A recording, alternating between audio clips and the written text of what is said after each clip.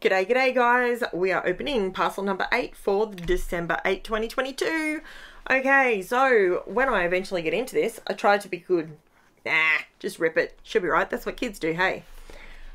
Okay, so in this we received the Simple Stories Simple Vintage Country Harvest sticker sheet.